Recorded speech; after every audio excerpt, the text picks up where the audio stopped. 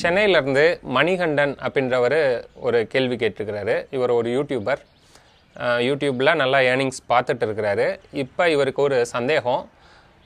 அந்த கேள்விக்கு போகிறதுக்கு முன்னாடி அவர் அவருடைய சினாரியோவை எக்ஸ்பிளைன் பண்ணுறாரு அதாவது இப்போ அவர் எந்த மாதிரி ஒரு சூழலில் இருக்கார் அப்படின்றத சொல்லிவிட்டு அதுக்கப்புறம் இந்த கேள்வி கேட்குறாரு ஸோ என்ன சூழல்னா அவர் வந்து இப்போ யூடியூப்பில் ஏர்னிங் பார்த்தாலுமே அந்த யூடியூப்பில் வர ஏர்னிங்ஸ் வந்து அவருக்கு பத்தலை.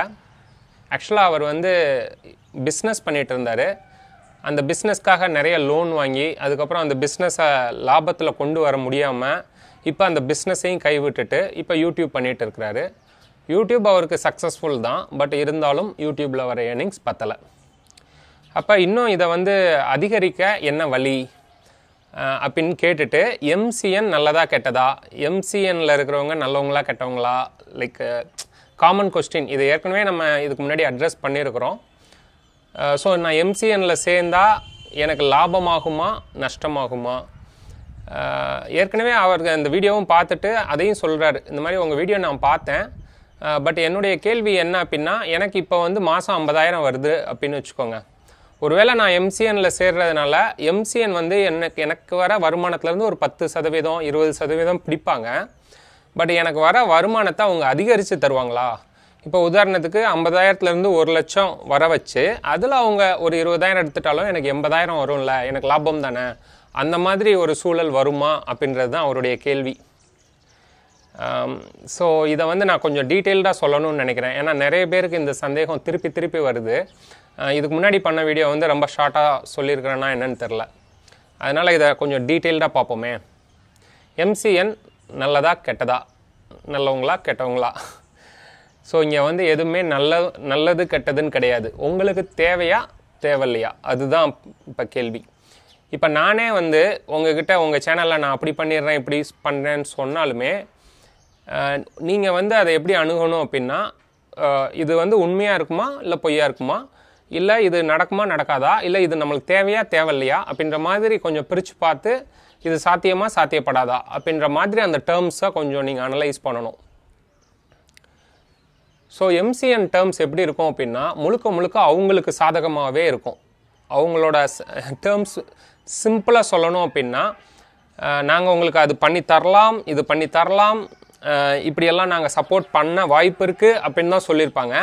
பட் கண்டிஷனாக எதோ சொல்லியிருப்பாங்க அப்படின்னா மாதம் முப்பது முப்பது பர்சன்டேஜ் உங்களோட ஏர்னிங்ஸில் நாங்கள் எடுத்துப்போம். அதே மாதிரி இந்த கான்ட்ராக்டை பிரேக் பண்ணணும் அப்படின்னா minimum one year bonding period இருக்கும். அதுக்கு இடையில நீங்கள் பிரேக் பண்ணுறப்ப உங்களோட ஒன் மந்த் ரெவன்யூவையும் நாங்கள் எடுத்துப்போம். இதெல்லாம் வந்து தெளிவாக மென்ஷன் பண்ணியிருப்பாங்க. இதே இது அவங்க என்ன பண்ணுவாங்க அப்படின்றத வந்து இப்படி இப்படியெல்லாம் நாங்கள் பண்ணுவோம் அப்படின்னு ஒரு டென்டேட்டிவாக தான் சொல்லியிருப்பாங்க. உறுதியாக சொல்லியிருக்க மாட்டாங்க. அதனால் எப்பொழுதுமே they are on safer side அவங்க கொடுக்குற அந்த கான்ட்ராக்டை வச்சு முழுக்க அவங்கள நம்பிட முடியாது. அதை மீறி அவங்க வந்து உண்மையிலே நம்ம சேனலுக்கு வேல்யூ ஆட் பண்ணுறாங்க ஒரு அவங்களோட எக்ஸ்பர்டைஸ் எல்லாம் நம்மளுக்கு ஷேர் பண்ணி அவங்களுக்கு வர ஸ்பான்சர்ஸ் எல்லாம் நம்மளுக்கும் டைரக்ட் பண்ணி நம்ம சேனலுக்கு வர அஹ், பிரச்சனைகள் எல்லாம் தீர்த்து வச்சு அப்படி பண்ணுற ஒரு எம்சிஎன் இருக்கிறாங்க அப்படின்னா உண்மையிலே நம்ம அவங்கள ரெஸ்பெக்ட் பண்ணணும். அப்படி இருக்கிற எம்சிஎனுக்கு நம்மளோட சேனல் ரெவன்யூவில் ஒரு டுவெண்ட்டி பர்சன்டேஜ் போகிறது தப்பே கிடையாது. பட் யதார்த்தத்தில் எப்படி அமையும் அப்படின்றத நான் சொல்லிடுறேன். நிறைய எம்சிஎன்ஸுக்கு வந்து சேனல் கிடச்சா போதும் அப்படின்னு தான் பார்ப்பாங்க. அதாவது நீங்கள் அவங்க சேனலுக்குள்ளே வந்தாலே போதும் அப்படின்னு தான் பார்ப்பாங்க. ஏன்னா உங்களால் எய்தல் அவங்களுக்கு ரெவன்யூ ப்ராஃபிட் இருக்கும். அப்படி இல்லை அப்படின்னா இந்த மாதிரி ஒரு பெரிய சேனலே எங்கள் நெட்வொர்க் கீழே தான் இருக்குது அப்படின்னு சொல்லி நிறைய சின்ன யூடியூபர்ஸை கன்வின்ஸ் பண்ணி அவங்க நெட்வொர்க்குள்ளே கொண்டு வந்துடுவாங்க ஸோ அதனால தான் யூடியூபே என்ன பண்ணுச்சு அப்படின்னா ஒரு கட்டத்தில் எம்சிஎனுக்கு ஃபேவராக பெருசாக எதுவும் பண்ணலை.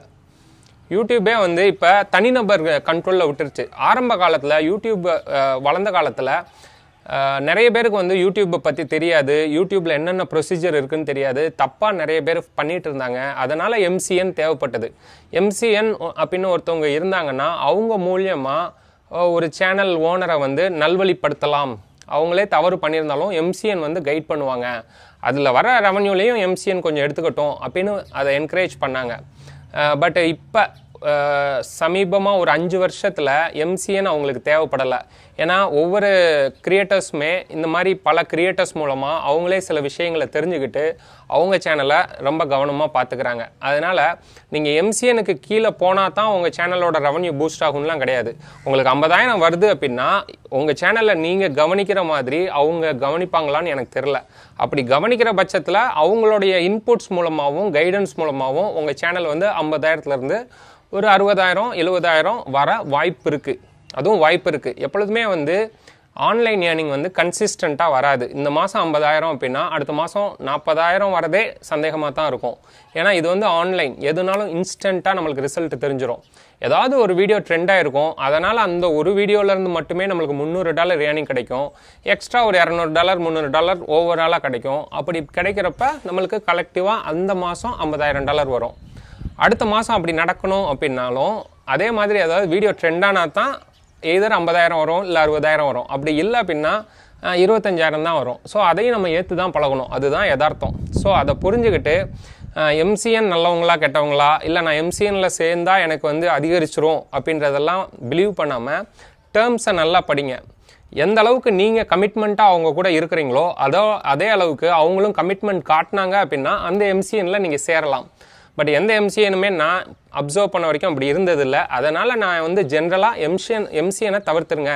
ஏன்னா உங்கள் சேனலுக்கு நீங்கள் கவனம் செலுத்துகிற அளவுக்கு அவங்களுக்கு நேரம் பத்தாது. அவங்க வந்து குழுமமாக செயல்படுறப்ப ஒரு உங்களுடைய சேனலை வளர்க்கணும்னு எண்ணம் வராது. இப்போ நாங்களே உங்கள்கிட்ட வரோம் ஏன் எங்கிட்ட வந்து வெறும் இருபது சேனல் தான் இருக்குது என் நிறைய நிறைய யூடியூபர்ஸ் நாங்களும் உங்களோட சேர்ந்து வரணும் அப்படின்பாங்க அப்போ நாங்கள் வந்து ரொம்ப டிரான்ஸ்பரண்ட்டாக பார்ப்போம் சில விஷயங்களை. உங்களால் எங்களுக்கு லாபம் இருந்தாலோ இல்லை எங்களால் உங்களுக்கு லாபம் இருந்தாலோ ஒரு மியூச்சுவல் லாபம் இருந்தால் மட்டும்தான் நம்மளால் லாங் டேர்மில் பயணிக்க முடியும். அப்படி இல்லை அப்படின்னா அது பாதியிலே போயிடும் அப்படின்றத உணர்ந்து ஸ்டார்டிங்லேயே அதை தெளிவாக எக்ஸ்பிளைன் பண்ணுவோம். இந்தந்த சினாரியோலாம் நம்ம சேர்ந்து பண்ணலாம். இது ஒர்க் அவுட் ஆகலைனாலும் நம்ம இந்தந்த சினாரியோ பேசிஸில் பிரிஞ்சுக்கலாம். அப்படின்றத தான் நம்ம டேர்ம்ஸாக போடுவோம். அப்படி போடுறப்ப ஒர்க் அவுட் ஆச்சுன்னா நல்லது. ஒர்க் அவுட் ஆகலைனாலும் சேஃபாக புரிஞ்சுக்கிறது நல்லது. ஏன்னா அட்லீஸ்ட் அவங்களுடைய சேனலை அவங்க பார்த்துப்பாங்க. பட் எப்பொழுதுமே we are open for open consultation நீங்கள் எங்களோட சேர்ந்து தான் உங்கள் சேனலை வளர்க்கணும்லாம் கிடையாது. நாங்கள் இந்த மாதிரி எங்களுக்கு தெரிஞ்ச விஷயங்களை ஓப்பனாகவே உங்களுக்கு தெரியப்படுத்துவோம். நிறைய பேர் வந்து மரக்கன்றுகள் நட்டுட்டு அந்த வீடியோவை வாட்ஸ்அப்லேயும் இமெயிலையும் அனுப்பிச்சி வச்சுட்டு அதுக்கப்புறம் என்கிட்ட கேட்டு அதனால் ஒரு கிளாரிட்டி அடைஞ்சிருக்காங்க. அதனால் எங்களோட சேர்ந்து தான் உங்கள் சேனல் வளரணும்லாம் அவசியம் இல்லை. நீங்கள் வந்து எங்ககிட்ட இருந்த அந்த நல்ல தகவலை கிளாரிட்டியாக தெரிஞ்சுக்கிட்டே நீங்கள் உங்கள் சேனலை வந்து டெவலப் பண்ணிக்கலாம். இப்போ நிறைய பேருக்கு வந்து ஐடியா இருக்குது எப்படி சேனலை டெவலப் பண்ணணும் அப்படின்றான் அந்த செயல்முறை கிளிக் ஆகிறதுக்கு டைம் எடுக்கும். இப்போ இந்த மணிகண்டன்றவர்லாம் நல்ல ஒரு கிளாரிட்டியோட தான் இருக்கிறாரு. அவருக்கு என்னென்னா எம்சிஎன் ட்ரை பண்ணதுலனால இது மேலே ஒரு சந்தேகம். அவ்வளோதான் நாங்கள் ஏற்கனவே எம்சிஎன்லாம் ட்ரை பண்ணியிருக்கோம் எங்களுக்கு வந்து எம்சிஎனுக்கு பணம் போனது தான் மிச்சம். அவங்ககிட்ட இருந்து ஒரு வேல்யூ ஆடட் சர்வீஸ் கூட எங்களுக்கு வரல. நாங்கள் இடையில கலந்துக்கணும்னு நினச்சப்பையும் அவங்க வந்து அவங்களோட டேர்ம்ஸ் படி நீங்கள் இடையில கலந்தீங்கன்னா உங்களோட ஒரு மாத ஏர்னிங்ஸை நாங்கள் எடுத்துப்போம். ஒரு மாதம் இல்லை டூ மந்த்ஸ் ஏர்னிங்ஸ் எப்பொழுதுமே அவங்ககிட்ட இருக்கிற மாதிரி தான் அந்த இதே இருக்கும். ஏன்னா நம்மளுக்கு வர நம்ம சேனலுக்கு வர ரெவன்யூ வந்து டைரெக்டாக எம்சிஎனுக்கு தான் வரும். எம்சிஎன் தான் அதுக்கப்புறம் நம்மளுக்கு பேமெண்ட் போட்டு விடுவாங்க. அப்படி இருக்கிறப்ப ஒரு மாதம் ரெவன்யூ ஒன்றரை மாதம் ரெவன்யூ எப்பொழுதுமே அவங்கக்கிட்ட இருக்கிற மாதிரி இருக்கும். நம்ம அந்த டீலை பிரேக் பண்ணிவிட்டு எம்சிஎன் விட்டு வெளியில் வந்தாலும். இப்போ ஒரு ஹை ஏர்னிங் சேனல் இருக்கிறப்ப இப்போ எங்களுக்கெல்லாம் அந்த சேனலில் ஒரு மாதத்துக்கு ரெண்டாயிரம் டாலர் ரெண்டாயிரத்தி ஐநூறு டாலர் வந்தப்போ அந்த ஒரு மாதம் ஏர்னிங்ஸ் அவங்களுக்கு போயிருமே அப்படின்றதுனாலே நாங்கள் அந்த இதை பிரேக் பண்ணலை. பட் உங்களுக்கு வந்து ஒரு உங்கள் சேனலில் பெருசாக ரெவன்யூ வரல அப்படின்னா நீங்கள் பிரேக் பண்ணிவிட்டு தாராளமாக நீங்களே பார்த்துக்கலாம். ஏன்னா எம்சிஎன்னால உங்களுக்கு பிரயோஜனம் இல்லாத பட்சத்தில். இல்லை உங் எம்சிஎன் வந்து நிறைய இன்புட்ஸ் கொடுத்துருக்குறாங்க. உங்களுக்கு வந்து அதனால் வேல்யூ ஆட் ஆகிருக்கு அப்படின்னா அந்த எம்சிஎனை ரெஸ்பெக்ட் பண்ணுங்கள் அந்த எம்சிஎன் கூட லாங் டேர்மில் பயணிங்க. ஏன்னா அதுதான் நல்லது. ஸோ இன் சிம்பிள் டேர்ம்ஸ் இவங்க நல்லவங்களா கெட்டவங்களா இது நல்லதா கெட்டதான்னு இல்லாமல் இது உங்களுக்கு தேவையா தேவையில்லையா? இப்போ எங்களுக்கு வந்து ஒரு நல்ல கிளாரிட்டி இருக்கும். யூடியூப்பை பற்றி ஒரு நல்ல நாலேஜ் இருக்கும். எங்களுக்கு எம்சிஎன் தேவையா அப்படின்னா தேவையில்ல. பிகாஸ் அவங்க வந்து பார்த்து எங்கள் இதை வேல்யூ பண்ணிட போகிறதில்ல நாங்களே எங்களோட சேனலுக்கு பெட்டராக பண்ண முடியும். ஸோ இப்போ ஒரு கிளாரிட்டி கிடச்சிருக்குன்னு நான் நம்புகிறேன் மீண்டும் அடுத்த ஒரு வீடியோவில் சந்திப்போம்.